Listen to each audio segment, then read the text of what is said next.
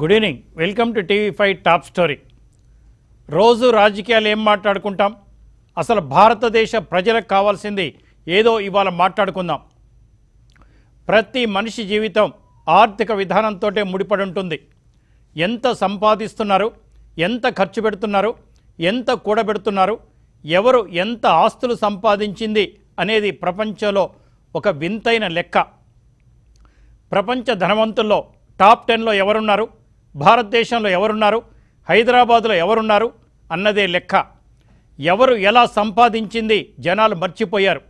మోసం చేసైనా సంపాదించవచ్చు లూటీ చేసైనా సంపాదించవచ్చు బ్యాంకులకు ఎగ్గొట్టైనా సంపాదించవచ్చు మందిని ముంచైనా సంపాదించవచ్చు అప్పులు ఎగ్గొట్టి కూడా సంపాదించవచ్చు ఇది యువతరానికి మనం నేర్పుతున్న గుణపాఠం. కానీ పాఠం మాత్రమే.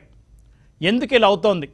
ఒకప్పుడు ఏదన్నా అప్పు ఉంది అంటే నిద్ర పట్టేది కాదు. పది ఎకరాల ఆసామి కూడా డీసీసీబీ బ్యాంక్ అంజమెన్ బ్యాంక్ అనేవాళ్ళు. ఒక మూడు నుంచి నాలుగు వేల రూపాయలు అప్పు ఉంటే కూడా వెంటనే తీర్చేసేవాళ్ళు. లేదా ఆ ఊర్లో డప్పు కొట్టేవాళ్ళు. ఫలానా వాళ్ళు అప్పున్నారని కుమిలి కుమిలి ఏడ్చేవాళ్ళు. బ్యాంకులు ఇచ్చిన రుణాలు బ్యాంకు ఉద్యోగులు ఏ ఇంటికి వస్తే ఆ ఇల్లంతా కూడా ఆ రోజు అన్నం తినేది కాదు. కానీ ఇదంతా ఒకప్పటి మాట. ఎంతమందిని ముంచుదాం? ఎంతమందినైనా ముంచుదాం? ఎన్ని అప్పులైనా చేద్దాం?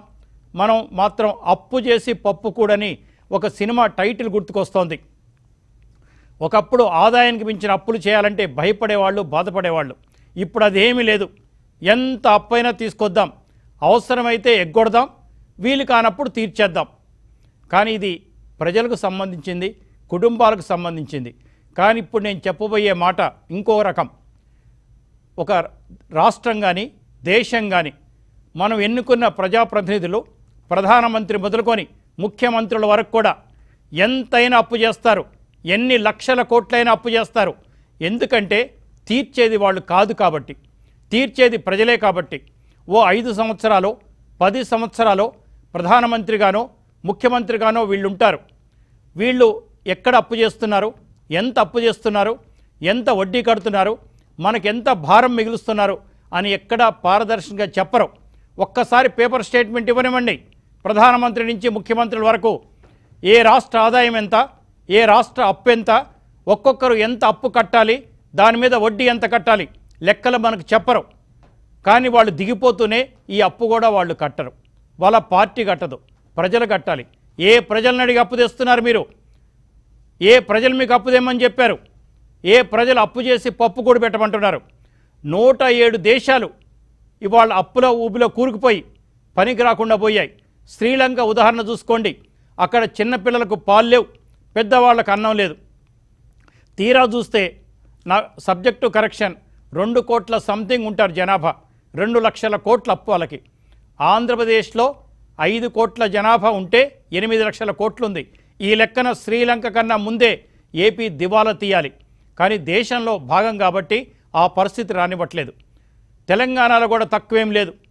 ఇక మిగతా రాష్ట్రాల సంగతి కొంత మెరుగున్నా దిగజారుతున్నాయి రోజు రోజుకి. అసలు ఇటువంటి పరిస్థితి ఎందుకు వచ్చింది? ప్రజలారా మేల్కోండి. అప్పులు కట్టలేక శ్రీలంక పరిస్థితి వచ్చే అవకాశం ఉంది. దయచేసి ఈ మాటలు ఎవరినో కించపరచడానికో ఎవరినో బబ్బెపెట్టడానికో కాదు. కనీసం మేల్కోండి. మనం ఎంత అప్పు చేస్తున్నాం? మన నెత్తిన ఎంత అప్పు ఉంది? మీకు సంబంధం లేకుండా అప్పు చేస్తున్నారు. ఎవరు ఖర్చు పెడుతున్నారో తెలియదు ఉదాహరణకి ఏపీలో లక్షా ముప్పై వేల కోట్ల రూపాయలు పంచారు. సంక్షేమ నిధి అంటారు. వాళ్ళ ఓట్ల కోసం. కానీ అప్పు చేసింది ఎనిమిది లక్షల కోట్లు. మిగతా ఆరున్నర లక్షల కోట్లు ఎక్కడికి పోయాయి? ఎవరి జేబుల్లోకి పోయాయి? అని తెలుసుకోవాల్సిన అవసరం మీ అందరికీ ఉంది అలాగే ఇండియా కూడా. మోడీ గారు దాదాపు డెబ్భై నాలుగు లక్షల కోట్ల అప్పు తెచ్చారు. ఏం చేశారు? తెలుసుకోవాల్సిన అవసరం మనందరికీ ఉంది అసలు మన మిస్సెస్ పాల్కి డబ్ల్యూఐఓఎన్ ఛానల్లో ఒక అద్భుతంగా మాట్లాడారు ఒకసారి చూద్దాం In March, the United Nations released this report. It said there were 107 economies that face at least one of the three risks. Number one, rising food prices. Number two, rising energy prices. And three, tougher financial conditions. 107 countries face these risks. Together, they represent 1.7 billion people. That's more than one fifth of humanity. There are 69 countries that face all the three risks food, energy, finance, all three. 69 countries could go the Sri Lanka way 25 in Africa, 25 in the Asia Pacific, and 19 in Latin America. The World Bank says that in the next 12 months, as many as a dozen developing economies may not be able to service their debt. This will be the largest debt crisis in a generation. What about India? It will feel the impact. A few state economies are already inching towards a debt crisis. In Punjab, West Bengal, Bihar, and Andhra Pradesh, the debt to GDP ratio is identical to Sri Lanka's. On the 3rd of April, Indian bureaucrats expressed concern. They said populist measures in these states could ruin their economies and leave them broke like Sri Lanka. అసలు మనం ఇండియాలో ఓట్లేసేటప్పుడు మన కులం వాడా మన మతం వాడా మన ప్రాంతం వాడ. సిగ్గు తెచ్చుకోవాల్సిన సమయం ఆసన్నమైంది. ఎవరు ఇండియాని ఆర్థికంగా వృద్ధి చేస్తారు? ఎవరు సైనిక పరంగా మనకు స్వేచ్ఛనిస్తారు? ఎవరు రాష్ట్రాన్ని దేశాన్ని కాపాడగలరు? ఇతర దేశాలకు ఎగుమతులు ఎవరు చేస్తారు? దిగుమతులు తక్కువగా చేసుకుంటాం అని ఆలోచించాల్సిన సమయం కూడా ఆసన్నమైంది. ఎవరు మంచి నాయకులు? ఎవరు కాదు? ఎవరు ఆర్థికవేత్తలు అనేది చూడాలి. ఒకసారి కేటీఆర్ గారు ఇదే విషయం మీద కుల మత రహితంగా ఎవరు ఎంత అభివృద్ధి చెందారో భారతదేశం ఎకనామిక్ సైజ్ ఎంత యాపిల్ సైజ్ ఎంత మాట్లాడారు. చాలా అద్భుతంగా మాట్లాడారు. ఒకసారి చూద్దాం. జనాభా నూట ముప్పై ఎనిమిది కోట్లు అనుకుంటా ఇంకా పెరుగుతానే ఉంది రోజు రోజుకి. నూట ముప్పై ఎనిమిది కోట్లు అనుకుంటా. మొన్న యాప్ అక్కడ పోయినప్పుడు యాపిల్ అని మీకు యాపిల్ తెలుసు కదా? Apple second largest development centre in the world is in Hyderabad మీకు తెలుసు. వాళ్ళు అక్కడ వాళ్ళ హెడ్ క్వార్టర్స్కి పిలిస్తే అక్కడ పోయాం. మొత్తం యాపిల్ హెడ్ ఆఫీస్కి క్యూపర్టినో అనే ప్లేస్ ఉంటుంది కాలిఫోర్నియాలో అక్కడ పోయినాం. నేను మా జయేష్ గారు అందరం పోయాం. యాపిల్ క్యాంపస్ కానీ యాపిల్ మొత్తం వరల్డ్ వైడ్ ఉన్న ఎంప్లాయీస్ కానీ చూస్తే ఒక లక్ష ముప్పై ఎనిమిది వేలో లక్ష యాభై వేలు అది ఉంటారు వాళ్ళు. మనమేమో భారతదేశమేమో నూట ముప్పై ఎనిమిది కోట్లు. యాపిల్ అనే ఒక కంపెనీ లక్ష ముప్పై ఎనిమిది వేల ఉద్యోగాలు ఉద్యోగులు.